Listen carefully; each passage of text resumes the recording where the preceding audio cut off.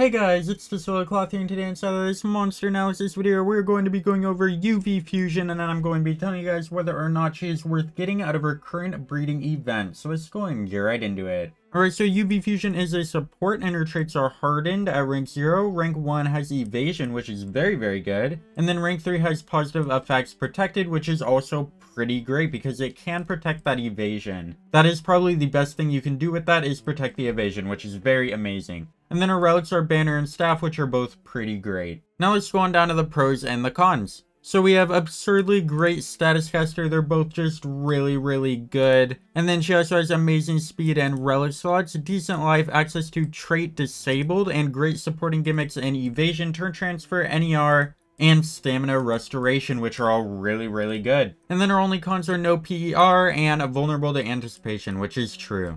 Now let's go on down to the moveset. So she has a team evasion with a 30% stamina restore. That is a very amazing move. She also has an ally NER with an extra turn, which is really great as well. And then she has a trait disable with an extra turn, which is really good. And then you can pick between a self-evasion with positive effect protection and 30% stamina restore and stamina regen, which is really good. Or a team NER with stamina regen, which is also just really amazing. Both of those are very, very good in different ways. So yeah, she has some amazing moves. Of course, her traits are just really great. Especially if you can get her to rank 3, this is definitely a monster that you want to rank up all the way to rank 3. Because she does get like 10 times better if you can get that rank 3 positive effect protected. So yeah, definitely go ahead and get UV Fusion out of the breeding event and try to rank her up if you already have her or if you get her early on and you have enough time to rank her up because she is definitely worth it. Even just rank 1 is very, very good. So yeah, go and get UV Fusion. Her moves are also really, really amazing. She's got NER, she's got Positive Effect Protected, and she even has an AoE NER, which is very good.